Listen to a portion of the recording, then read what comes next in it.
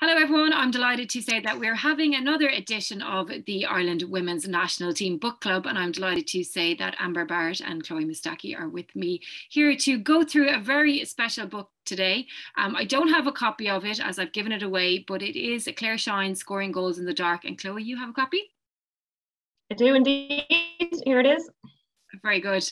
Um, look, guys, for me, I was reading the book as a journalist, as a sports fan. It was just, it was a sports book that I was interested in. I'd, I'd, interviewed Claire a few times. I knew of her story. I was fascinated by the details of her life. But for you guys, um, Chloe, for you, you were reading that book, reading about someone who's gone through a tough, tough time and had been through a, a very traumatic time as her friend. That must have been hard. Yeah, uh, I'll admit I didn't kind of read through it in one go. I it was kind of a book that I dipped in and out of. Um, Claire Shine's a good friend of mine. I've known her since the age of 12, 13. Um, and yeah, to know someone so close to you go through such difficult times um, from the outset, kind of looking on is difficult. But then when you, you know, you read about the details and certain days and um, you know, that were particularly tough for her, I did, I did find that difficult. Um, so so yeah, look, it's it's it's a brilliant story, and hopefully, and I know you know she talks about in her book, even you know inspiring some people um out there who hopefully you know will come out the better um side of things as a result of hearing of her story and how, how she did it. So yeah, no, it's it's great, and look, you know, I wish Claire all the best now, but um yeah, we'll discuss that in more detail. Amber, the thing about books like Claire's, they're books that need to be written and they're stories that need to be told. And even though it's difficult, I'd imagine for her to write it, uh, she did say she found it quite therapeutic in the end, but the fact that she mm-hmm. lived through all of that and you know she's just like yourself and chloe she's somebody following her dreams wanting to be a footballer and dealing with all of that in in the background how did it make you feel reading it and, and knowing that she's somebody just like you yeah i think similar to chloe i think it definitely was an experience where like I, I would happily be someone that would read these types of books to find out, you know, about different people in their lives and things that have happened to them and how they've, you know, dealt with it. But to know it's somebody who, you know, you've shared a dressing room with, it's somebody you've went on trips with, it's, you know, it's somebody that you've had conversations with. And I suppose that this the problem was we were never aware of any of the things that went on. And the thing is you never really know what's going on in someone's in someone's life. And you know what I think you you nailed the point there. I think there are definitely books that have to be written. Um, it's just a little bit unfortunate when it's somebody you know and you know somebody that you had a good relationship with. Um, but you know, thankfully Claire was able to write the story, and as you said, if even one person feels you know co- comfortable enough to come out and you know talk about their problems, then you know she's done something very good with that as well. Chloe, I find it even a little bit uncomfortable talking about it because I know she's somebody that you know and usually as amber says there the books that you're reading that are like that are, are, generally people that you don't know very well or somebody that you just know from the sports field or for seeing them on on telly. So i almost feel like you're kind of well that i am almost betraying her privacy a little bit by talking about her because she's your friend she's your teammate even though she's she said all of this and, and in the book and she's detailed all of her experiences but it's just because when you know somebody they're a real person then. Yeah. Well look i think claire you know claire is an incredibly strong person and, and the fact that as amber said the fact that she's been able to come out um, and speak so openly about her story is is amazing. And you know growing up with claire you would have you know she was just like any of us but you probably would have known at at times if we like for my likes of myself or Katie or anyone that was quite close with her, you would have known that maybe she at times she might have been struggling, but until she really came out so publicly with her story, I mean, until she really came out with that picture that went viral after she had thankfully been found over in Scotland, and you could see, you know, how tired and how drained, and you know, that she had really just reached a low point. I think once I saw that photo, everything really hit home for me because when you're at a distance and you don't really see someone day to day, um, and you hear, yeah, okay, maybe they're struggling a little bit, um, you, you almost kind of just forget about it instantly. But I'll never forget that photo and um, that she put up on social media. And I think that's an incredibly brave thing for her to have done. Um, and yeah, I just yeah, it's been it's been you know incredible journey for her. But um, she's done an amazing thing by kind of sharing her story as difficult as I'm sure it, it was for her. And even Amber, like there's a lot of value in talking about you guys' situation as well because in teams all around the country, all around the world, there are people struggling. And sometimes mm. they tell their stories and sometimes they don't. But along with all these people who are struggling are their friends and their teammates. And they often don't know what to do, what to say. And when something like that picture that Chloe spoke about there comes out, like what what could you do? What what did you do? Like, you know, what did Claire want you to do? Yeah, like that's that's a very good question. Like um I think that I think that whole experience with, you know, when the, the news came through that day, um about Claire and that, you know, I remember texting Katie being like, Katie, what's going on? Like and Katie was like, Yeah, Amber, like there's a lot of stuff going on with Claire at the minute. We're just not sure. And I remember we had just played Leverkusen and it was a game that we needed to win to make sure that we stayed up and we lost it. And I remember coming home being like, oh my God, this is the worst day ever, like such a loss. Then I hear about Claire and I'm like, my problem doesn't even begin to scratch any surface of what a real problem is. And I think, you know, you know, maybe she won't say it now, but I think years down the line, I think one thing I think that has been a huge support for Claire is the fact that she's always been in teams. You know, she's involved with the Irish team, involved with Glasgow. You know, she had a brilliant um, history with Cork City as well. And I think those little things, you know, they, they will always stand here. And like at the end of the day, I know that when I go into training on a day and you know something's on my mind, I'm in an environment where I trust the people I'm playing with every day and training with, and I know that if I'm having a bad time or I'm struggling with something, they'll be able to give me a hand. And I think you know when you talk about it, there's so many probably people that we we know we maybe we speak to every day, but again we don't know what's going on their in, in their head. Um, so I think if, if there's one thing I would really like to come out of something like this is that we as people become a little bit more aware to little signs of people, you know, when they're not feeling, you know, so good about themselves or having difficulties. Um, and I hopefully that is something that over the next little bit of time, when more education comes to it, that you know we can all make it make it easier and make it a comfortable environment for every person.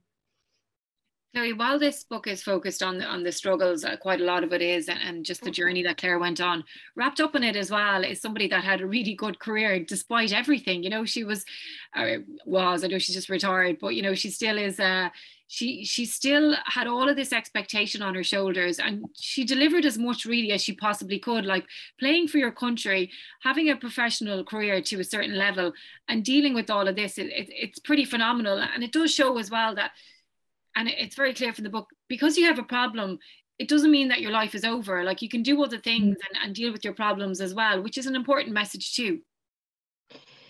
Yeah um to be honest i think amber um said it perfectly there. Like the fact that claire had been surrounded by teams from a young age i'd say really did um help her through her tough times. I mean to think that she um had you know went through that really difficult period early on in covid and um, when i mentioned kind of that picture and she went missing etc like she lost so much weight muscle mass everything. I mean she had to be helped um you know to, to walk around um, the hospital in the first you know few weeks it seemed like. And you know what resilience for her to be able to come back and play at such a high level after that. And it just shows um it just shows the grit and determination and the fact that sport really does help in, in difficult times. And, you know, while she, you know, while she did suffer mentally, you know, the fact the idea of playing potentially for her country again, um, really I'd say did help her through those first few months trying to get back to her, you know, her old physical self. Um so so yeah, no, I mean, I think, you know, I think ultimately she will be kind of remembered as you know a, a top Irish um, female soccer player for, for years to come. And um obviously it is incredibly sad to, to see her walk away from that right now. But um it's also like incredible proud moment for me as a friend for her to have kind of lived those highs as a professional athlete and and know that the right decision for her is to walk away from that. Like that's for me looking on from the outside is and I'm, being kind of a, a fellow peer that's incredible strength from my perspective. Mm-hmm. um and she's doing what's best for her her overall life. Um and she needs you know she needs to go and pursue other highs now and she's going to miss that. So for her to be able to take that risk is is massive but overall obviously she feels it's necessary. And Amber as well look you know there there's other parts of the book that she highlighted as well that people are going to draw from. Okay she she had the problems and you know they they almost overcame her. They didn't thankfully and she was able to get the help she needed. But she asked for that help and it showed as well like when she spoke to her brother the value of having that person in your life that you can go to and just say you know what? I'm not coping here. I need somebody. And it, it just shows that it can actually save your life. And you know and i know it's said like you know talk to somebody and it can be quite a flippant thing to say because it's easier said than done. But i just thought that it was the fact that it was her brother and that it helped it was just so important to hear that story as well.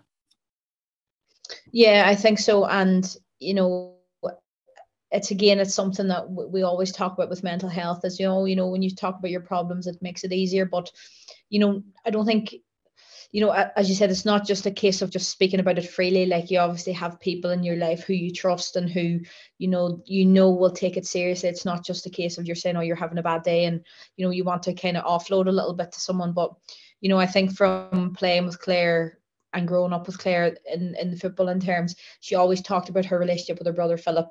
And, you know, they always had a very strong relationship. And I think knowing that he was the, the one person in that moment, you know, that had to lend the hand, I think that it's nearly like a full circle moment because you kind of know, you know, he was always the older brother that looked after her very well. Like, and, um, you know, she always talked about how good their relationship was. But I think again it's about having those people in our lives that we can reach our hand out to and ask for help. And you know, as much as we have to give credit to to Philip as well, I think you know Claire's bravery to actually begin that conversation. I would say if you asked her now, I would say you would should probably say that was one of the hardest things she had to do to physically start the conversation to kind of get her the help that she needed. And you know, as you said, thankfully she got it, and thankfully she's come out the other side of it. Chloe, one thing that I wondered as well is, you know, we, we look at now the way women's football is developing and where it was 10 years ago to where it is now is completely different. The pathways are so much clearer. Claire had all of the potential in the world. She had all of the pressure that came with that potential as well. But I wonder, you know, if there had been better structures in place and a better pathway and if things were just better, would it have been a more stable environment that would have allowed her to to flourish and maybe not have had as many setbacks as she did? Yeah i think that's a very difficult question to kind of really give an accurate answer to.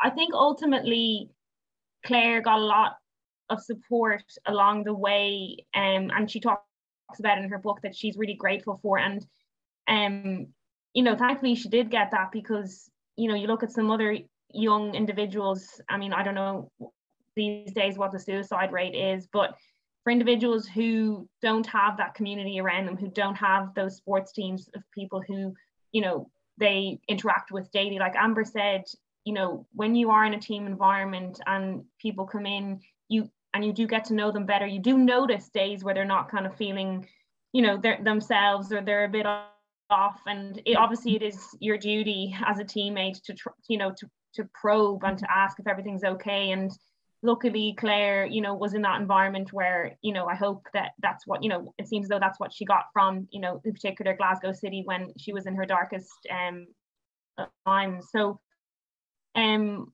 i think ultimately you know i i don't i'm not a mental health specialist so i don't know what she probably should have got extra that might have helped. But I think generally speaking, um, and Claire says it herself that you know she did have the supports around her, but it's not it's not kind of a straight line recovery. It's you know mm-hmm. there are good times and bad times, and um, fortune, unfortunately that's just the way it goes. Um, with this, and I'm sure she'll continue to kind of struggle, but I'm sure she'll say herself, you know, she had the right people around her, and um, it's just kind of a long recovery process.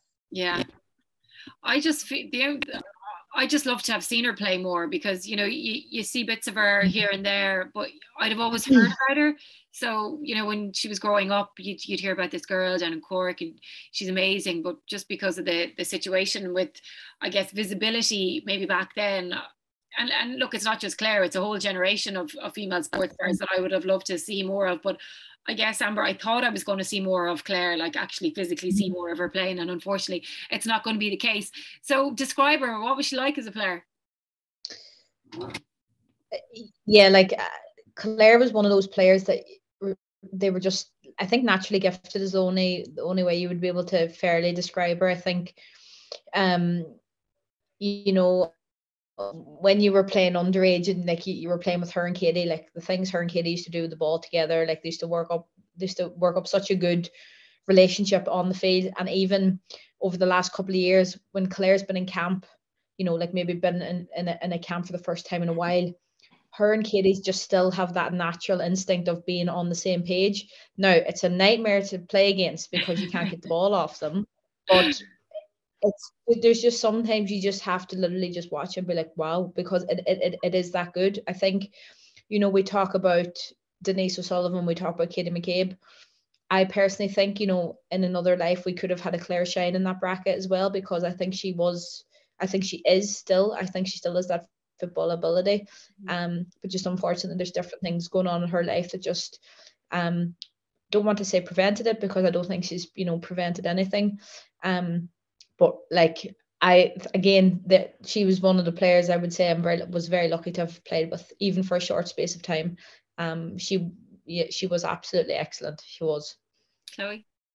Yeah, yeah. I mean, like she. I mean, I agree with Amber. She she was a rising star in our age group. You know, she was the big name. You know, her, Katie McCabe, like they were the big name, scoring goals at underage level, getting us to kind of European finals.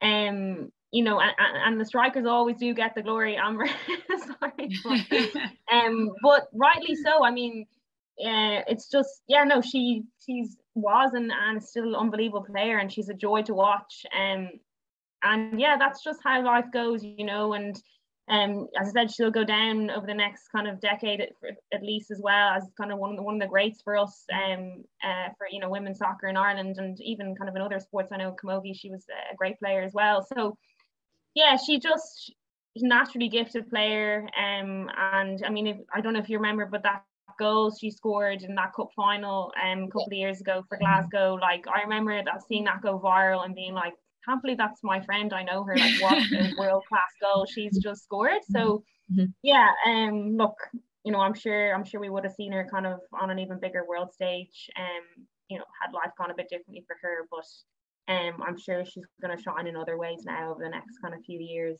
Um, so that's just life, and I'm sure she yeah. kind of she'll always cherish those memories over the you know over the past decade that she's had at international level and club level.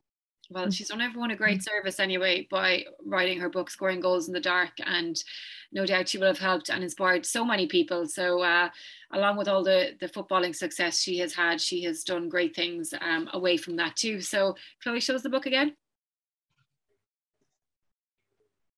Claire Shine scoring goals in the dark. Do check it out. It's brilliant. And of course, Gareth Maher, they're writing it with Claire as well. Uh, what a combination, the dream team. Uh, guys, thanks so much for uh, for coming on. Uh, a pleasure as always. And no doubt we will be catching up again soon. Who's going to be next to write the book? That's what I want to know. Me. well, I'm sure we all have a book in us at some oh, point. Everybody.